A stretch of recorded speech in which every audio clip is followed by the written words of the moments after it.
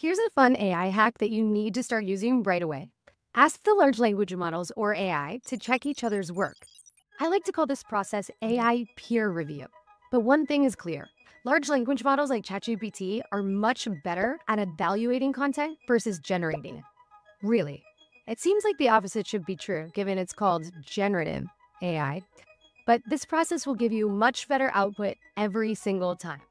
Here's how to use it to your advantage. The next time you're chatting with ChatGPT, paste that initial output that it gives you into another large language model like Gemini or Claude and ask it to evaluate and improve that content. For example, I might ask ChatGPT to generate a first draft of my YouTube script for a video titled How to Build Custom GPTs That Actually Save You Time. I then paste ChatGPT's response into Anthropic's Claude and ask it to evaluate the script and improve it by adding story arcs and curiosity loops, really anything that will increase the video's engagement. And just like that, I have an incredible first draft to work from. AI peer review works because it takes advantage of two key strengths of large language models. Specialization across models.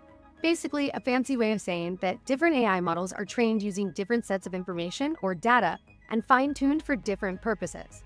ChatGPT, in my opinion, is the best AI tool for brainstorming or ideation, whereas Claude excels at crafting more human-sounding content and writing tasks. By asking one model to generate and another to evaluate and improve, you're combining their strengths. It's similar to how writers and editors collaborate in the publishing process. Number two, fresh perspectives reduce bias. Large language models tend to get stuck in patterns based on their training data or prompts that you're using. When you switch models, the second AI approaches the content from a different angle, spotting weak spots or missed opportunities that the first AI might overlook.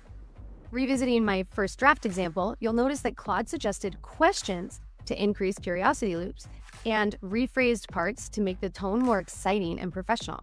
AI tools aren't perfect, but they're really good at spotting patterns and giving helpful ideas when you tell them what to look for. By using them to check and build upon each other's work, you're creating a feedback loop that results in higher quality and more thoughtful output.